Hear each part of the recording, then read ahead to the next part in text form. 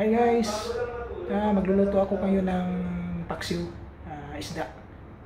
Ah, paksiw na isda. Kung sa Bisaya, inununan. Inununang isda.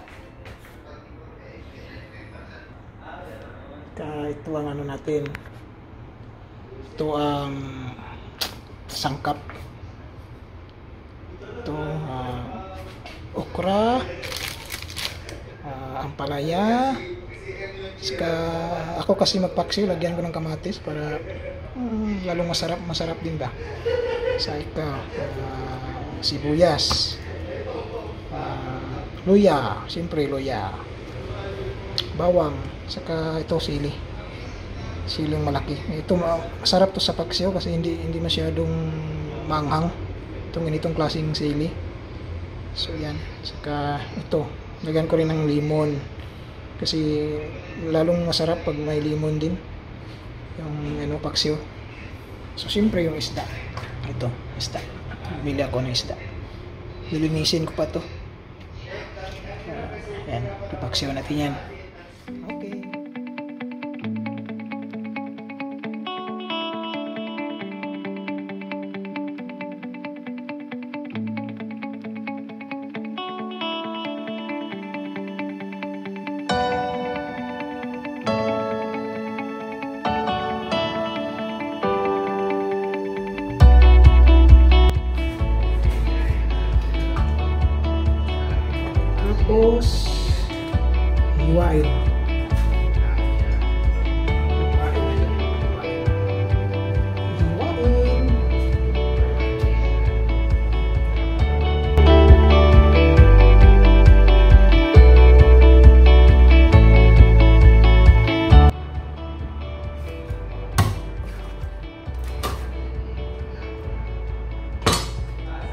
guys, hiwa ko na.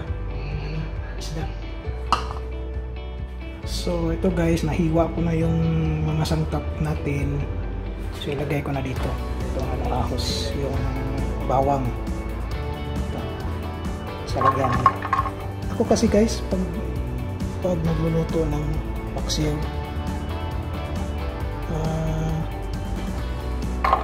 ilagay ko sa ilalim yung ano, yung mga sangkap tapos papatungan ng isda. Para pag para pag kumulo siya ano siya mahalo lain yung ano mix yung ano talaga.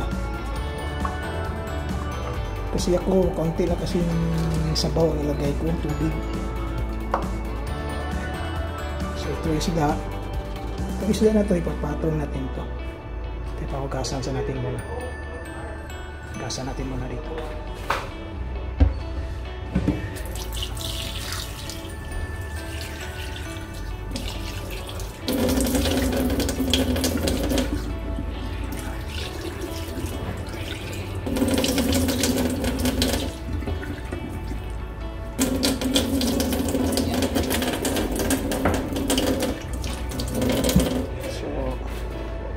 ito ipapatong ko to. Yan. Sa may mga sangkap. Mas ano kasi siya, pag, pag nasa ilalim yung ano, yung mga sangkap, kaysa itaas, kaysa ipatong sa isda. Kasi pag kumulo na, yan, uh, ma-mix ba? Ano? So itong ito, huli, huli na natin to. Kumulo na to, yan, ito na naman ilagay natin dyan. Sa taas na, patong na sa taas ng isda, sa ibabaw ng isda. Yan, itong okra, yan, kamatis, wala. Huli na yan. Okay. So, lagyan natin ng asin.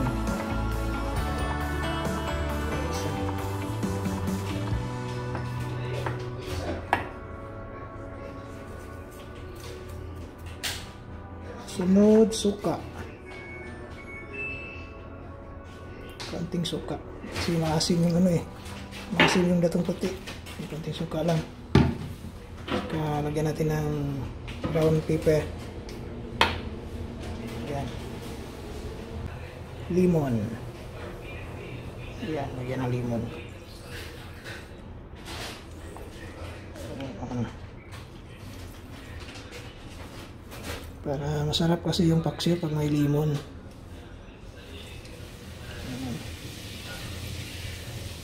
Ayan. Yun o.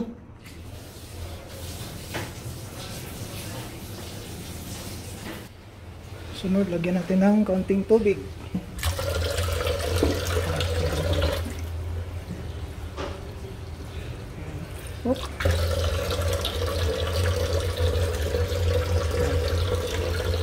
Tapos, sabay natin dito.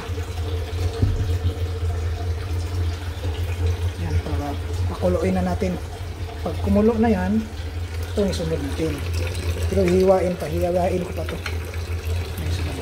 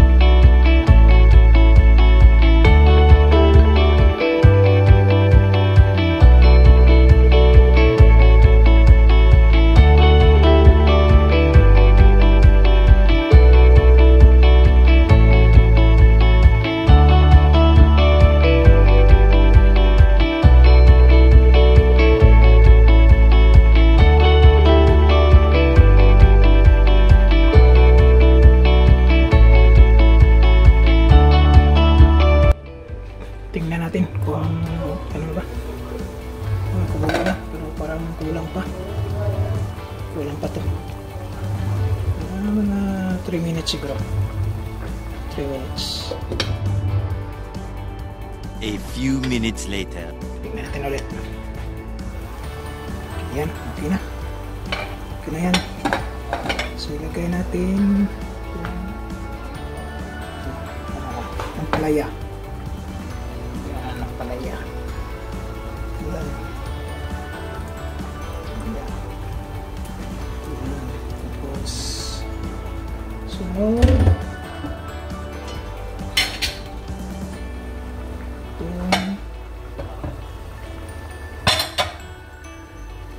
Kamatis. Yan, kamatis yan. Yan lang yan yan, patong-patong lang. Pasili. Yan. Tapos, ah, takpan natin ulit.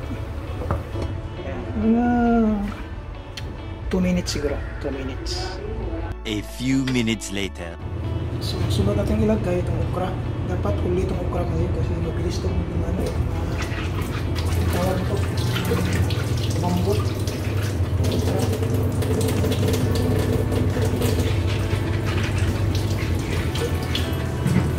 Pangit kasi yung okra o pag sobrang lambot. So, ito ang sunod natin okra. So, ayan. Okay na yan. So, yung okra.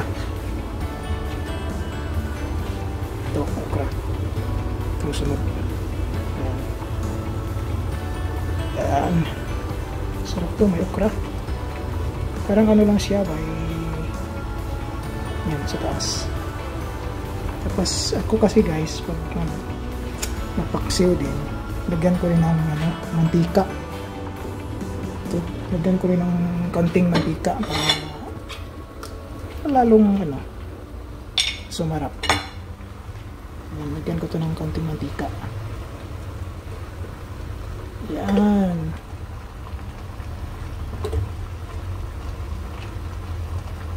Tapos, takpan ulit. Yan. So, hintay tayo ulit ng mga 2 to 3 minutes siguro.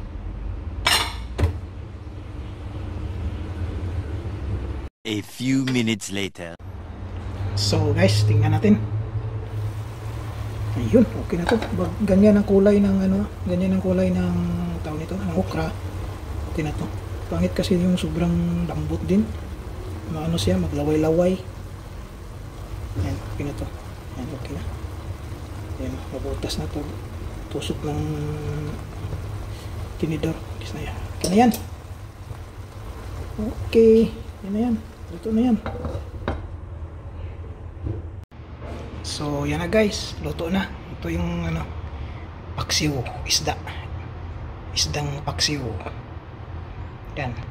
Yan ang lutong Bisaya ulit. Lutong Bisaya. Okay.